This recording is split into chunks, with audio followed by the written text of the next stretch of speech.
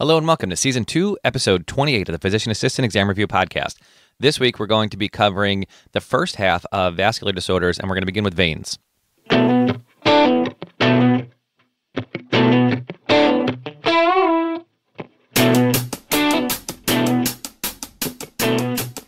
My name is Brian Wallace. I'm the host and creator here at Physician Assistant Exam Review.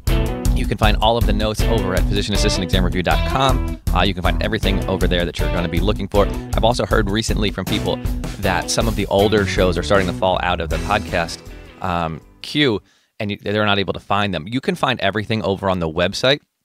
The feed for the podcast only holds so many shows. Uh, so as I create new shows, the old ones sort of fall out the back end. Uh, it just isn't going to hold them all. So you can always go over to the website and dig those out. I do delete old one, old shows, old notes once I've gone back through season two. So you can go ahead and you, you know you're not going to double up on those. But I think um, at this point, I think uh, I forget what it is. Some people have been emailing me that certain topics are they can't find, and the answer is you, you have to go back over to the website.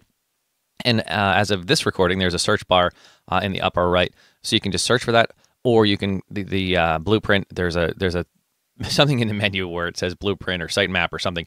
You can click on that and it'll have everything there pretty easily. You can find it uh, there. So I started this show, this podcast, this uh, whole thing years ago when I had to take my PANRE and I couldn't find material out there. I was looking for audio material I could listen to in the car and there wasn't any. There was no podcast. There was nothing you could listen to uh, while driving, which is something I love to do. I love. I'm an audiobook subscriber. I use Audible constantly. I listen to a fair amount of podcasts. Now I'm more into to the audiobooks, but I flip back and forth. And there just wasn't anything for reviewing for my PANRE. And, and with little kids and whatnot, I just I was running short on time and I thought it would make a whole lot of sense. So I started building out this website very, very slowly. Uh, it's, it's terrible if you can go back and find the episodes, the early episodes, they're, they're completely awful. Thankfully, I've been getting feedback from you guys that the show's been getting better, but initially it just took a long time to start building all this stuff out. And I did it because, like I said, I just couldn't find the material I was looking for. And what this show is about, what this show is for, one is to cover the content material to get you through so that you understand the material.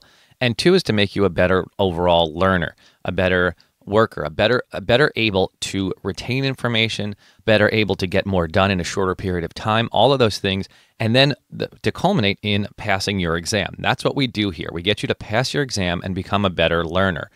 This show is not about being a good clinician. Now, there are shows out there for that, and I'm thankful for those now. Um, they're great. I think you should definitely go subscribe to those. And they do a wonderful job. But that's not what we're here to do. That's not what this show is about. That's not our main focus. Our main focus is getting you to be a better learner, a better uh, have better habits, better ways of retaining information, and then ultimately to pass your exam. So for today's show, what we're going to do is we're going to be covering venous disorders. I'm going to do this in a small chunk because I want it to be very clear. I don't want to throw too much information at you, especially if you're driving your car or out for a jog. I want you to be able to retain the information that we're covering here today. And that's one of the main focuses for me as I go through this. Now, I used to be an educator, I used to teach uh, high school chemistry and biology compared to a classroom of 26, 27 freshmen and sophomores doing this into my microphone in my my house is a little bit easier, obviously. But I, I always loved teaching, and one of the things I really enjoyed about it was breaking down the material into in, in into ways that you could understand it. And to people who had never seen it before could easily understand it. And I find it incredibly frustrating when you found professors who would talk to hear themselves talk, as I'm rambling on, or would want to make themselves sound good or smart instead of being their main focus to pass the information along to you in ways that you could understand it. And that's something that I always found frustrating and something I always tried to avoid. And something that I'm trying to do here in this show is just give you the information that you need, cover the topics, point out to you the things that will really help you, and not try to make it sound overwhelming because a lot of the stuff you can easily make it sound overwhelming. Obviously, the blueprint is huge, but if you take your time and do it slowly, uh, and go through it in a specific manner, it, all of this stuff is really not that hard because it's all set up in the same fashion. And you start to realize that as you go through it more and more, you have uh, each disease process, their causes, how the patient presents, their physical exam findings, the tests to diagnose them, how you diagnose it, and then the treatment plans. Now, it's a lot to memorize, it's a lot to remember. Uh, but it's not complicated, I guess, is what I'm trying to get at. Anyway, let's go ahead and get started with today's show and begin with our que- priming questions for venous disorders. Our first priming question is describe Homan sign. Describe Homan sign. Number two, why are DVTs so important to prevent? Why are DVTs so important to prevent? List three risk factors for varicose veins. List three risk factors for varicose veins. All right, so you should take away that and much more from today's show. Let's jump right into thrombophlebitis is where we're going to begin. Thrombophle- and just moving, marching right through the, the blueprint. Really, really straightforward stuff. Thrombophlebitis is, is um, or rather, phlebitis is an inflammation of a vein. Pretty straightforward. Again, easy. Thrombophlebitis is a venous inflammation as, as a result of a blood clot. The most common cause of phlebitis, I'm sorry, thrombophlebitis is the most common cause of phlebitis. And typically it's superficial following trauma. So you get a bruise or something, you get banged into, it causes a little clot in that vein, which causes thrombophlebitis. So from thrombophlebitis, we move into superficial thrombophlebitis, which is I'm going to compare and contrast these a little bit with DVTs because the risk factors and things are the same, but they're, the, the outcomes and things are dramatically different. So I'm going to cruise through superficial thrombo- thrombophlebitis to not totally bore you because it's a little less important, I would say. Uh, so our causes and risk factors here for superficial thrombophlebitis. So this is little clots in veins that are superficial. So along the skin, you can sort of feel them, palpate them. Causes and risk factors here are going to be trauma, oral contraception, smoking, cancer, pregnancy, and then genetic issues. Clinical presentation here is going to be the skin is going to be warm, swollen, and tender to the touch. Physical exam findings, uh, again, the same as the clinical presentation. Skin is going to be red, warm, swollen, and tender. So pay attention to those. You can do ultrasounds here. Seems like, you know, I, am not sure the clinical significance, but certainly a Doppler would be on the list of, of labs and studies for this condition. Treatment here is going to be heat, NSAIDs, and then elevation of the extremity for sure. Maybe anticoagulants. Sort of depends on the the uh, how bad the situation is and what you think is going on. But really, it's heat, NSAIDs, and elevation of the extremity. And then next we move into the big one, which is uh, DVTs or deep vein thrombosis. This is, and again, our causes are going to be sort of the same because this is a clot in the vein that causes a problem, which is what superficial thrombophlebitis is. This is deep vein thrombosis, though not superficial. So this is a big clot uh, in a deeper in a deeper vein in a bigger vein. Uh, causes and risk factors here. Again, we have trauma. We also have, and this is a huge one uh, for your exam and for your clinical practice, uh, major surgery, including hip and knee replacements. These people obviously uh, get immediate or get get immediate post-op anticoagulation anticoagulation because we want to prevent DVTs. Really, really important in your post operative patients in particular.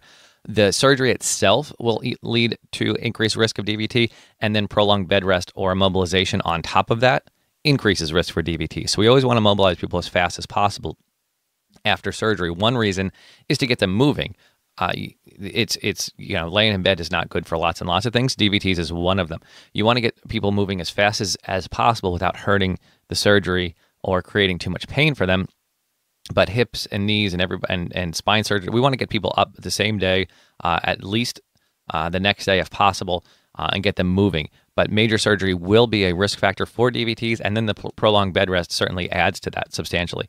Oral contraception is an increased risk factor. Smoking is an increased risk factor. Put them together smoking and oral contraception and we have a, a pretty bad setup there. Cancers can be set up for dvts and, and coagulation problems so keep in mind any question you get where a patient has a history of cancer, uh, certainly pay attention to DVT issues. Pregnancy, postnatal period can also be an increased risk for DVT, and then genetic clotting issues, uh, family history can certainly be a, uh, put you at risk for DVT. So pay attention to those in your question stems. Clinical presentation, calf pain. So certainly that deep calf is a good place to get a DVT. One that was probably the most popular, one that we see the most and hear the most about. The skin over that area may be warm and swollen. And certainly the calf uh, tenderness is going to be uh, one of the presenting signs. Our physical exam is going to be pretty much the same as the, the presentation. So it's a warm red skin, swollen, and then tender over the calf. The Homan sign is something that always comes up in this section and always something we documented whenever uh, we're looking at these patients. Uh, pain and tenderness in the calf with passive dorsiflexion of the foot is the Homan sign. The, of course, the problem with it, and I'm sure you're well aware, is that it's just about useless. Studies of Homan signs suggest it's positive for about 8 to 56% of people with a proven DVT. And it's also positive in more than 50% of symptomatic people without DVT. So it's of almost no value whatsoever. We still tend to document it. I, I'm not sure why, but we, we do. Really pretty useless. Anybody with calf pain, calf tenderness after surgery is just going to get it, uh, an ultrasound. It's not expensive. It's not invasive. It is a pain in the butt from an outpatient perspective because the patient's got to go get it done. But the answer is the physical exam doesn't really prove anything. It, it presents an option sort of points you in a direction and makes you suspicious, and then you send them off for a Doppler to make sure that everything's okay. You can also do an MRI or a CT uh, venography, and another possibility for labs is a D dimer. Uh, this is going to look for fi- the fibrin uh, degradation products of a clot. And if it's negative, there's definitely no DVT because there's nothing breaking down. Uh, however, it can be positive for lots and lots of reasons. So it's not, it's, it's helpful, but it's not diagnostic where the ultrasound is going to be diagnostic. Treatment. Um, the number one key for treatment for DVTs, and this is big, this is something that you definitely have to understand. The number one treatment for DVTs is prevention. We don't want people to get them in the first place. There's huge pushes in the hospital to make sure nobody gets a, a, DVT. And there are lots of things we can do to help prevent people from getting DVTs. And number one is going to be, uh, uh, well, lifestyle modifications is, is movement, is just not being, not sitting in one place you know, the classic question I think for this is the the per, uh, you know, a smoker who just traveled from California to New York on a plane gets uh, comes into your office with calf pain, that sort of thing, because they've been sitting for long periods of time. That's what you're looking for. Someone who's in your question, it's going to be someone who's been set up with some sort of uh, risk factor and then has been not moving for a long period of time. You want to make sure people are moving especially people with, with those risk, risk factors. So you want to be exercising, you want to be walking, you want to be moving people. Compression stockings will help. And then in the OR, everyone gets sequential compression devices, which are, if you haven't seen them, it's, uh, let me see how I can describe this. It's kind of like a sleeve that wraps around your calf. And then we hook it up to a pump that just blows air in and out. So it's, it's almost like a, a blood pressure cuff. That's the easiest way to describe it. It's almost like a blood pressure cuff. And you put them on both legs and every couple of minutes, they go up and down and just compress the muscles there and the veins to keep the blood flowing, to keep the blood moving while patients are sedated and not moving. And those stay on the whole time the patient's in the hospital and in the, in the bed. They, they don't ever come off uh, unless there's a contraindication to them, which might be something like a rash or an open wound, uh, something along those lines. But pretty much everyone across the board winds up with SCDs. Uh, that's just in the order sets, and it's just it's it's a no brainer. They have to absolutely have to have those uh, for surgery frequent ambulation. Again i talked about you want to get people up and moving as fast as you possibly can. And out of bed. I'm, I'm constantly uh, berating patients who are, who are lying in bed saying no no no you have to get up. You've got to move. And this is one of the main reasons. Anticoagulation uh, as a preventative measure here you can do Coumadin, but it takes a couple days to build up, so you're not going to do that immediately post-op. Uh, most post-op patients get Lovenox uh, the morning after surgery. Some docs will start it the evening of surgery, but the majority will start at the following morning because you also, you know, as you as you know, with clotting factors, it, it's a very difficult balance between we don't want people to bleed, but we don't want them to clot either.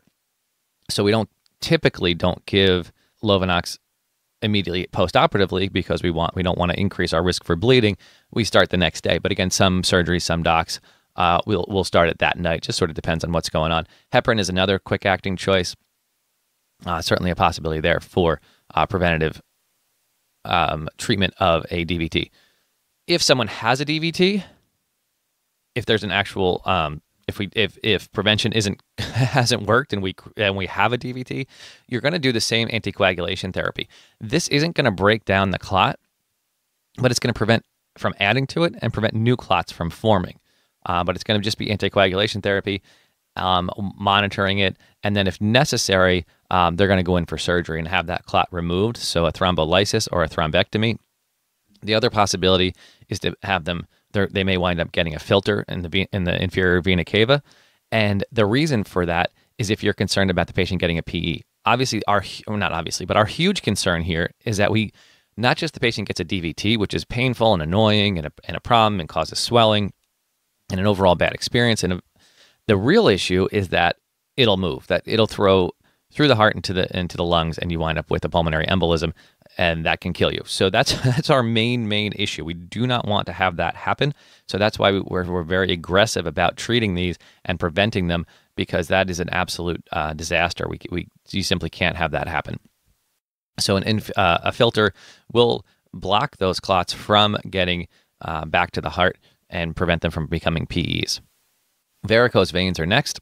Causes and risk factors here uh, pregnancy, genetic predisposing factors, valvular incompetence, not in the heart. Uh, when we're talking about valvular incompetence here, we're talking about the, the valves in the veins, increased abdominal pressure, and then long periods of standing. Clinical presentation dilated tortuous veins. Tortuous is a nice word here. Most commonly the long saphenous or its tributaries. This may be painful and tender or asymptomatic. Fatigue and aching of the lower extremities is probably the most common presenting sign. Physical exam findings again, just those dilated tortuous veins uh, along the long saphenous. And these may be, again, very tender, or they may not be tender at all. Labs and studies, you can do a Doppler here to show the, the incompetent valves treatment, our main one, again, this is something that we also want to be preventing and thinking about prevention on and educating patients. We want to be avoiding long periods of standing, elevate the legs when possible, and graduated uh, elastic stockings to help with compression. Compression stockings really help with this. So you'll see a lot of um, nurses on the floor who are on their feet all day long will uh, will wear compression stockings, and that really helps to prevent some of this stuff. Uh, surgery down the road, uh, vein stripping and sclerotherapy are two ways of treating this, and they come out really well. Um, I actually know a couple people who had this done and absolutely love it. They're in a lot of pain, and then afterwards really felt pretty good. Chronic venous insufficiency is next. This is the weakened vessel walls and incompetent valves generally in the lower extremities. So this is sort of everything sort of leaking back. This is really is a step beyond varicose veins. Clinical presentation is progressive edema beginning at the ankles and moving up. Skin changes, you get some hyperpigmentation. So you get that purpley, reddy, uh, yucky looking ankles. Uh, they're typically very swollen, they're shiny, they're atrophic. You get some dermatitis, and then you get it just gives that that very distinct look of venous insufficiency where everything is just kind of uh, red and shiny and purpley and just kind of yucky. If you're once you start seeing it, it will become very, very obvious to you. It is uh, not an uncommon problem that we see. And then the question that we always get the ulcers that are associated with venous insufficiency are painful ulcerations, painful ulcerations.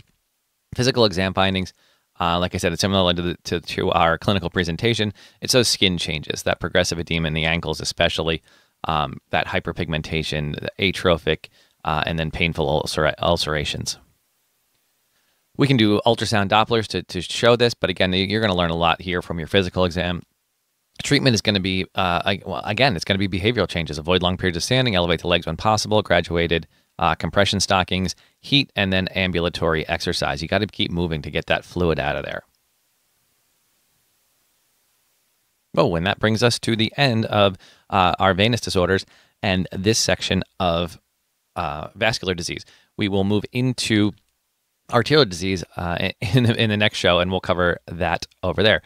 Real quick before I before we get our answers to our priming questions, I want to talk about some, a little bit of time management stuff. I've been reading uh, the work of a guy named Dan Kennedy, who is extreme in the sense of time management and guarding his time. And I don't know that I can go as far as he has, but I can absolutely understand the value in what he presents. And let me just give you a couple examples. He is a, a, prolific writer. He's written, you know, tons of books, tons of articles. He, you, his main way of being so prolific and being able to do so much is well, there's a couple of ways, but the, the one that stood out the most to me was these long blocks of uninterrupted time. You cannot interrupt him. I, I mean, physically, he does not own a smartphone. He does not have an internet connection at his house. He's not, he understands what all these things are. He's not just, uh, but he knows the value of his time and he understands what happens with those temptations, with those things. He does not use email, he does not use text messaging.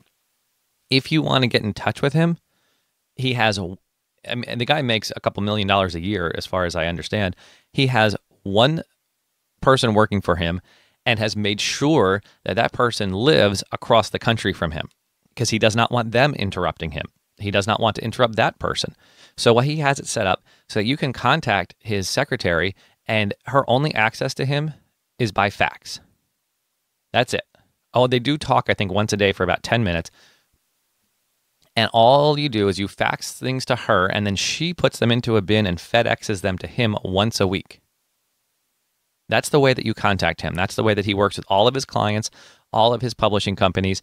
He is that's the only way he will set up an, a phone call appointment, but he will not allow someone to call and interrupt him in his work amazing that you can get so much done.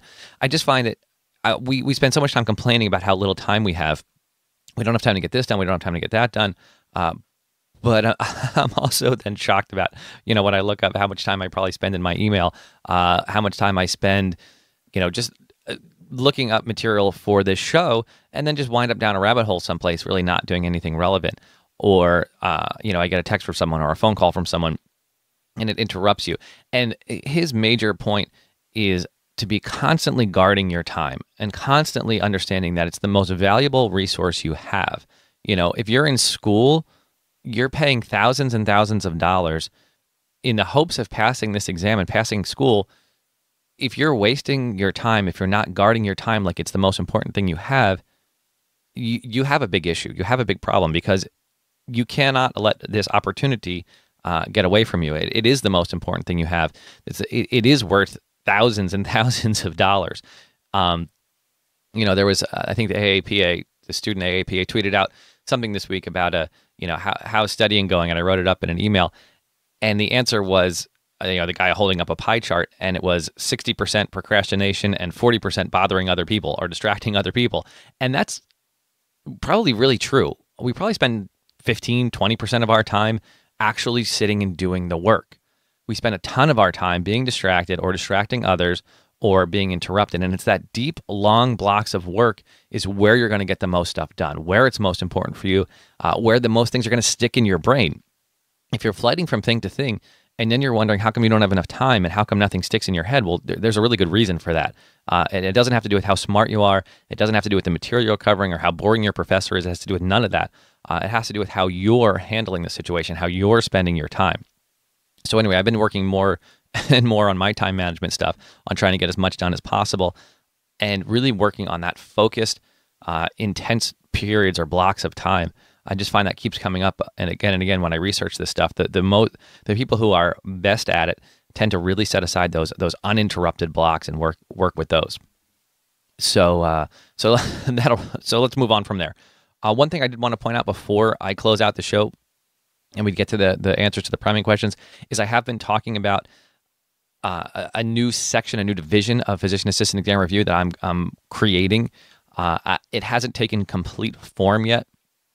As of right now, uh, the idea is something along the line of a video newsletter material that's going to come out on a, on a routine basis that's going to cover things like uh, how to find your first job, how to find any job, how to get through interviews, how to answer test questions, the best ways uh, to to build your study habits, the best ways to focus on heart murmurs and understand those, and and, and then I'm going to cover some content in other episodes, things like that. At some point down the road, it's going to turn into more of a community where we can communicate more uh, between other PAs and myself and where I can do a little bit more hands on teaching, uh, things of that nature. It's going to start out, like I said, a little bit slower as I build it out, but that's sort of uh, the initial plan. So, what I wanted to just let you in on, we'll let you know right now, is I, I'm going to set up a an opt-in page for people to subscribe to find out the most and the earliest and be the early adopters on this and really help me get this off the ground. Um, and you're going to be able to find that at physicianassistantexamreview.com backslash new is going to be where I'm going to leave that. Um, you know, if you're listening to this two years from now, that page may be different, but for this week, for the next couple of weeks until I launch this thing, it's you're going to be able to find that opt-in page at physician assistant exam review backslash new is where I'm going to uh, have you go ahead and sign up there, and that way you'll be sure to get as much of the information as you possibly can, as early as you possibly can, and get in on that on the ground floor. Uh, I'm not sure exactly how I'm going to treat it, whether I'm going to limit the initial people in, uh, something along those. I, I, don't know, just to, to try to build it out uh, in the way I, I, can get some feedback on. I don't know. We'll, I'll think about it. But either way, if you're interested, uh, I've had some people express interest already. Definitely go um, over to that page and sign up, and, and you'll be the first to get the information there. Priming question. Uh, describe Homan sign. That was passive dorsiflexion. Passive dorsiflexion. Uh, if they have pain with that, it's a positive Homan sign, which is an indicator of absolutely nothing. Why are DVTs so important to prevent? Uh, the answer there is we don't want them to go on to be PEs. We don't want pulmonary embolisms. We're trying to prevent a pulmonary embolism, especially in our post-operative patients. List three risk factors for varicose veins: um, standing long hours, pregnancy, genetic predisposition. What else did I have? I'll leave it at that for now. Any of those three, uh, I think I had six or seven of those. Any of those would be absolutely great. Thank you so much for joining me again here today at Physician Assistant Exam Review. The numbers for the downloads have continued to go up dramatically. So thank you for passing it along to your friends and letting other people know. Uh, I really appreciate that. It really uh, obviously helps stroke my ego and makes me feel like uh, people are listening, and it makes a big difference to uh, to how I put this material out there. So thank you so much for that. Feedback on the show is always appreciated. You can reach me at uh, bwallace at physicianassistantexamreview.com. And I strongly encourage you to head on over to physicianassistantexamreview.com backslash new to check out the new stuff that I'm going to have going on and sign up for that uh, so we can get a better line of communication going there. All right, great. Until next week, next time when we talk about arterial disorders, uh, good luck on all your exams this, in this period. Uh, good luck and I'll talk to you soon. Take care.